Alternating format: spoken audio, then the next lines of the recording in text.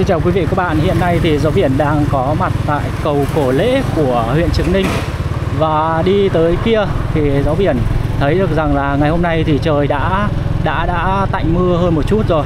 Ngày hôm qua thì thật sự rất là lo lắng về ờ, mực nước dâng cao rất là lớn tại đây. Đó, gió biển đang thấy ờ, rất là nhiều ờ, những anh em thanh niên và dân quân rồi công an xã đang có công tác à, phòng chống gia cố những cái nơi à, trọng yếu tại đây. Đó người ta đang xúc cát đây mọi người. Đây, xúc cát để cho vào bao tải. Để à, lên đây gia cố.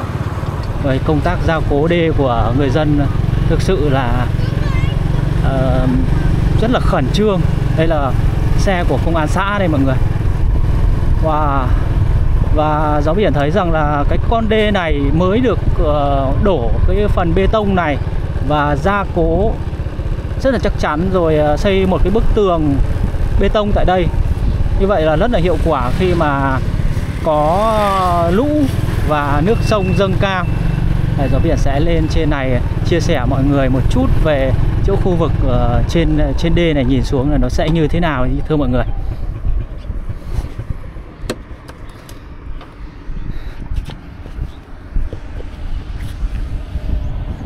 Thưa mọi người, từ đây là có thể nhìn sang phía bên kia.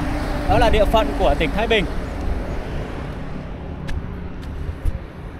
Đây thưa mọi người, chỗ này thì các bác đã kè đê cũng rất là chắc chắn rồi.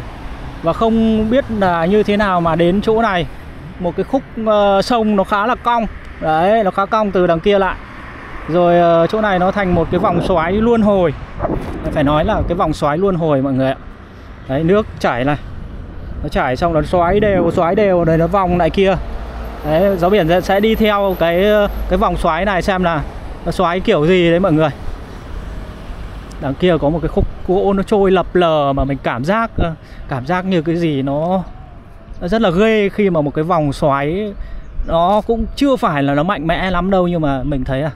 Ở chỗ kia này nó có cuộn cuộn từ dưới lòng sông nó cuộn lên. Nếu như bạn nào mà uh, bơi kém hoặc là là gọi là biết bơi thôi nhưng mà để mà vào cái vòng xoáy này rất khó để thoát ra. Đấy. À, giáo viên đang đi uh, sát lại chỗ khu vực uh, đây để chia sẻ mọi người. Đặc biệt chỉ cái đoạn này thôi mọi người. Đoạn này thì nó không hiểu sao nó lại vòng xoáy như vậy. Đấy đằng kia thì nó lại không xoáy nữa. Sông từ đây sang bên Thái Bình. Giáo viên đoán nó phải dài đến uh, 500 mét thưa mọi người. Nó phải 500 đến 800 mét mới có thể sang tới bờ sông bên kia. Đây là đường chỗ Nam Thanh đây mọi người. Đấy Tân Giang Nam Thanh Nam Trực. À, bây giờ thì gió biển đã thấy được uh, một bác nào trồng hình như là củ lạc của mọi người ạ. Đây. Trồng uh, ờ, không biết là lạc hay là cái gì đây. Nhìn thoáng thoáng rất giống lạc mà có, có khả năng không phải mọi người ạ bãi rác uh, nó đã tập kết lại đây rồi. Dưới sông nó cuộn lại. Biển thấy rằng uh, rất là đa dạng các loại rác đấy. Wow từ sông lên các biển thấy là nếu như mà tính từ dưới lòng sông này với cái con đường kia thì hiện nay thì nước sông cao hơn cao hơn cái mặt đường mà hiện tại thì uh, người dân đang di chuyển kia. Đấy quốc lộ 21 đấy. Thì nó cao hơn lòng đường khoảng độ uh, tầm độ ờ, mét hai đến mét rưỡi mọi người ạ. Nếu như mà nó bị vỡ đê và nó nó ngập vào thì chắc chắn là ngôi nhà cạnh đường kia sẽ ngập đến nửa nhà. Điều đó là sẽ xảy ra. Còn ờ, với cái đê điều của Nam Định thì cũng rất mừng và rất là yên tâm khi mà đê được chắc chắn như thế này. Chỗ này có lẽ là một cái ờ, vòng xoáy luân hồi và trọng yếu nên đặc biệt chỗ khu vực này đã được các bác ờ, thiết kế xây dựng kè đá rất là chắc chắn rất là kịp thời ở cái đoạn này. Đó.